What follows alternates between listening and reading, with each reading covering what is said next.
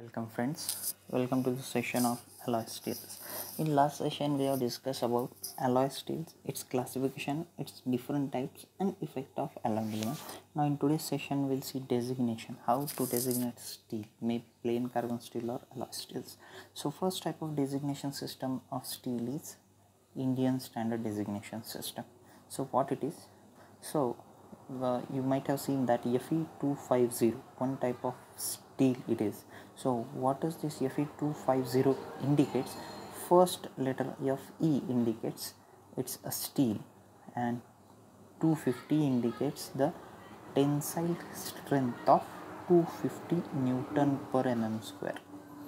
That means whenever we use Fe for designation and some numeral values 250300 likewise so it indicates the tensile strength next case if capital e is added further fe capital e and then we have 200 or 250 so what does it will indicate? It will indicate yield strength of that type of steel. So fe capital e 200 indicates yield strength of 250 newton or sorry by mistake it might be 250 it is 200 newton per mm square.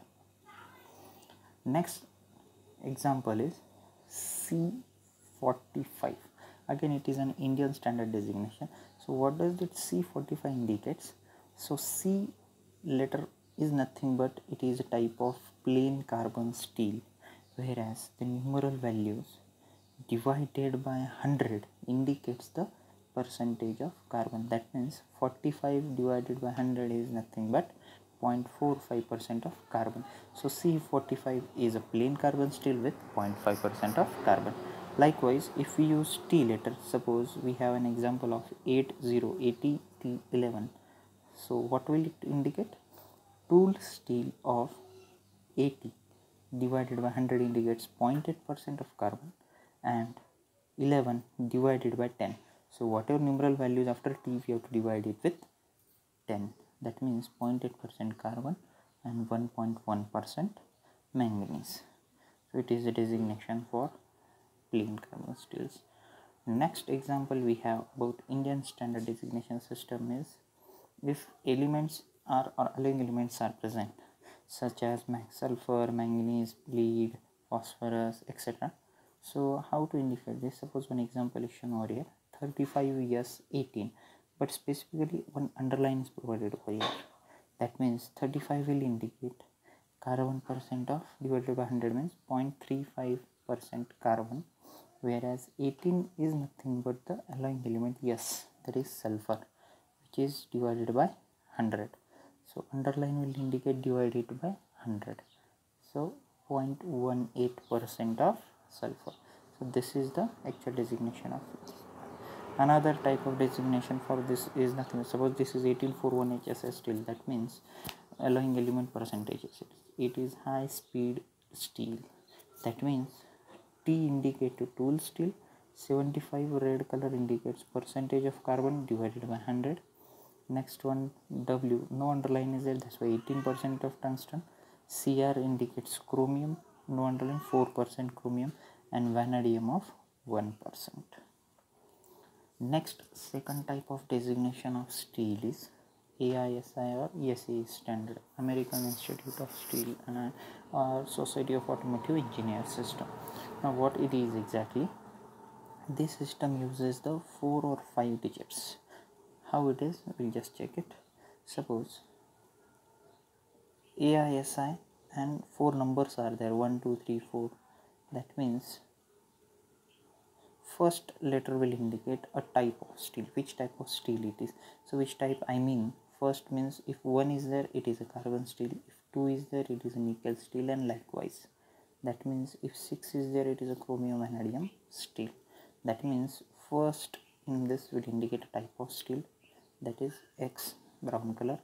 And now second blue color. X is nothing but second numeral value. It indicates the percentage of principal alloying element. That means what or how much is the percent of alloying element and last two red color indicates 100 times the percentage of carbon. So for example if you consider this ACE 4 uh, 1040 so what one will indicate now? It will indicate the type of steel which is nothing but one for plain carbon or carbon steel. And 0 over here means no alloying elements are added. That means modification of alloy. That is no modification means no alloy. Steels are so it will remain as a plain carbon steel. And next one 40 underline indicates the percentage of carbon. Another example SAE 5120 that means 5 will indicate chromium steel. 1 is nothing but percentage of alloying element now since chromium steel so chromium will be added 1% and next one divided by 100 indicates the carbon percent. Similarly third type of designation system is british standard designation system. Now in this since during world war we have got this type of designation system. Actually it is en emergency number. So emergency number steels are used. So en8 en9 en10 likewise so one table is provided here. That means for en8 type of material or for en9 type of material. So what are the carbon content? What is the alloying element content? Manganese silicon or sulfur phosphorus etc so likewise this designation will continue. This is the last type of designation.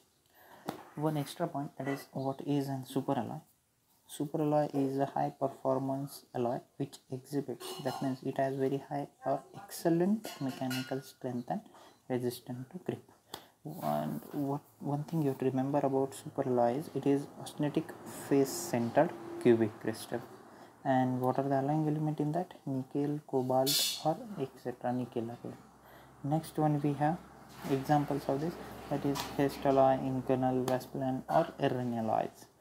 What are the applications? First one gas turbine or high temperature creep resistance application since it has a fatigue strength. Likewise, it has a very good solid solution strengthening. Next one we have specific applications aerospace jet engine turbine applications or specifically automotive applications so thanks for listening the session good day